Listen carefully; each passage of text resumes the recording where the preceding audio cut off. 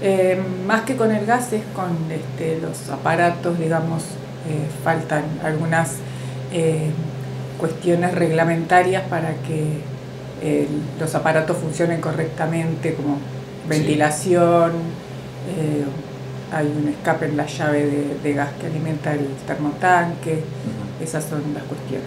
¿Esto lo denunciaron ustedes o hay de oficio una labor de inspección del área de infraestructura y de Camusi? Eh, no estaba yo ayer cuando vino Camusi, yo había hecho nota de delegación porque sentíamos ya olor a gas en, el, eh, en algunos momentos eh, en la cocina, así que realmente no sé si, si Camusi vino porque nos dijeron que alguien había denunciado, digamos, que había olor a gas, pero no sé de bien este, si la denuncia... Fue anónima la denuncia. Fue anónima exactamente o si delegación se puso en contacto con ellos por alguna razón. ¿Y ustedes percibían algún tipo de olor, algo fuera de Sí, lo que pasa es que no, era, no es siempre. en determinados momentos se sentía olor a gas, cerrábamos la puerta de la cocina, ventilábamos, este, pero bueno, hice la nota correspondiente para que vinieran a, revisar. Claro, teniendo en cuenta todas las cosas que han pasado en la región. Sí, y, y aunque no hubiesen pasado igualmente, porque por momentos era muy notorio el olor, entonces bueno, algo parecía que no estaba funcionando bien. Bueno, ya hicieron el diagnóstico y, en cuánto tiempo creen que podrían llegar a solucionar los problemas. Eh, no, todavía recién estoy haciendo toda la gestión, así que ah. informando, porque esto fue ayer a la tarde, así que todavía no me han dado plazo para, para cuándo se podrá resolver. ¿Esperan que se pueda solucionar antes que culminen las vacaciones de invierno?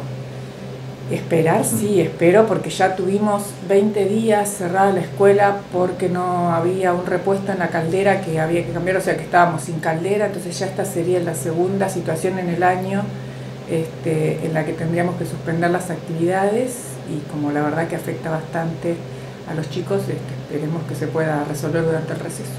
¿Cuántos alumnos tienen ustedes en la matrícula? Eh, tenemos 37 alumnos qué franja, ¿De qué franja de edad son? Eh, desde el nivel inicial hasta secundario, porque nosotros como en realidad hacemos acompañamiento al resto de las escuelas, este, trabajamos con nenes desde nivel inicial secundario, todas las edades. Acá lo que hacemos es como un contraturno, los chicos no vienen como al resto de las escuelas, vienen algunos días y eh, por algunos horarios. Para algún tipo de, actividad puntual. Claro, vienen más que nada para reforzar todo lo que tiene que ver con el lenguaje. Eh, entonces hacemos un refuerzo para que la escuela sea más.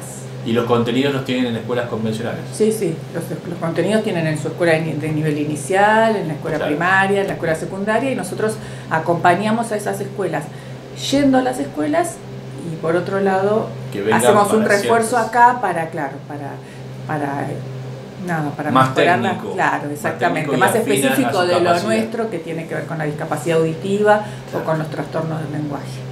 Bueno, ojalá que se pueda resolver pronto y, bueno, se tenga nuevamente en condiciones el ambiente por los fríos que estamos teniendo esta semana. Sí, sí, no, no, es muy difícil este, estar si no. ¿Y cuánto personal son? Eh, y personal... Permanente no, lo que pasa es que muy permanente no somos porque las maestras van a las, claro, van a las escuelas, pero estoy siempre eh, yo y está el personal auxiliar, este, que somos cinco personas más, que me, ayudan en lo administrativo y en la limpieza.